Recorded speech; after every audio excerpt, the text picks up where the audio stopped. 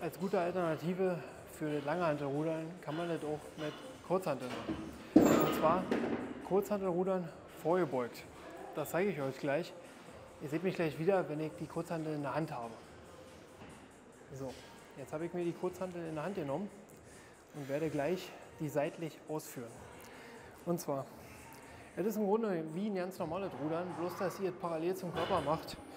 Beugt euch leicht nach vorne und zieht dann so rein.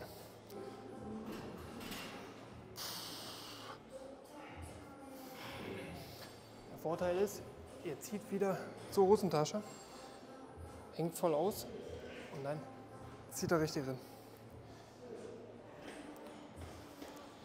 Es ist so ein bisschen, man kann es leider nicht mit dem Unterhandgriff machen, also Überhandgriff oder Unterhandgriff, weil so kommt ihr nicht richtig rein in die Übung. Ja. Es wäre tendenziell besser, wenn er, wie gesagt, das parallel macht zum Körper.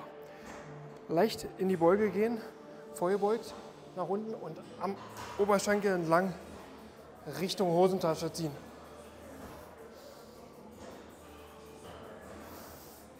Beim Aushängen nach vorne nicht darauf achten, dass der Nacken nach vorne geht, sondern drückt die Brust raus.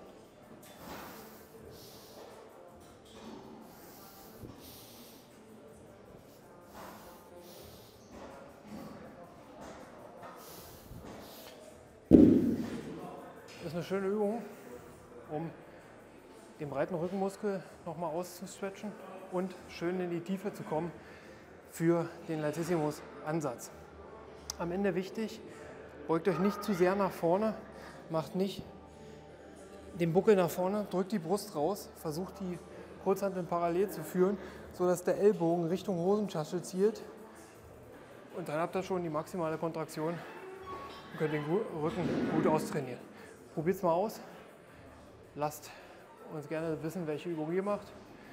Und das war's.